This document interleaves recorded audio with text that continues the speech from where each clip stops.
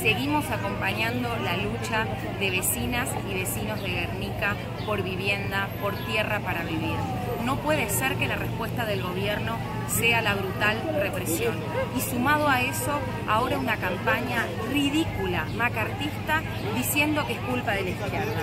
Acá la culpa la tiene el millón de los despidos que el gobierno dejó pasar durante la pandemia, la falta de respuestas sanitarias de fondo que dejaron secuelas enormes en nuestra sociedad, crisis social descomunal, la imposibilidad de acceder a la vivienda con Fernández tienen es darle a Bernie vía libre para la represión.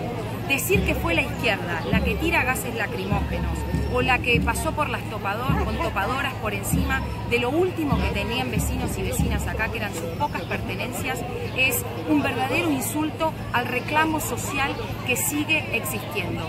Los vecinos y las vecinas quieren vivienda y quieren tierra para vivir.